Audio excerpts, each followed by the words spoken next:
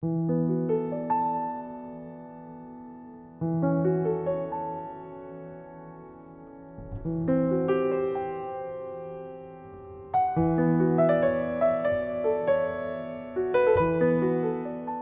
believe that the museum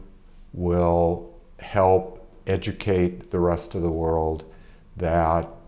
the Holocaust was something that happened, it was in the past, and that the future to brighten educationally, culturally, socially, intellectually,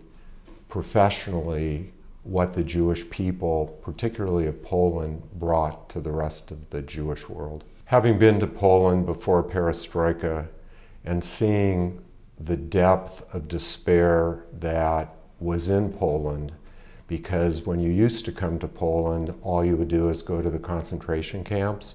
and see and learn all about death and the Holocaust. And what the museum does, and for me personally, what this does, is perpetuate the feeling that the thousand years of history of the Jewish people that began in Poland will be able to continue and show the rest of the world that the Holocaust wasn't the end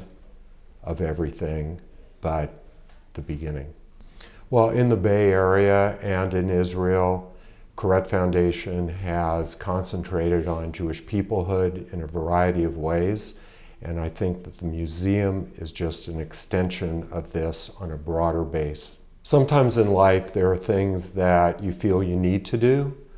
and when you take a step back and really look at it, you realize that not just you need to do it, but you feel like you want to do it. And together with Taube Philanthropies, the Koret Foundation is the single largest contributor to the museum. And for that, our board, me personally, and Tad are extremely proud and grateful.